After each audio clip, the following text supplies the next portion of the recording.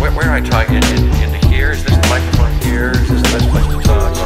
I've sought help with my um, personal costuming, and uh, and so I've made myself susceptible to people who sell clothes in stores. Uh, what do you think? Like this? What should I wear? What's really me?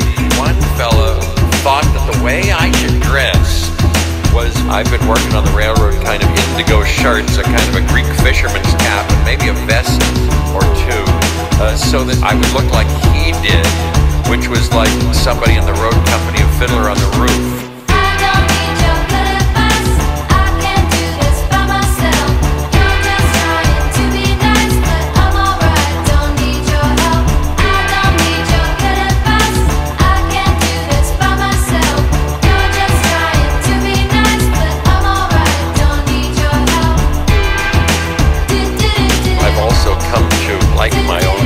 fascistic convictions about how I might want to tie my tie, for instance.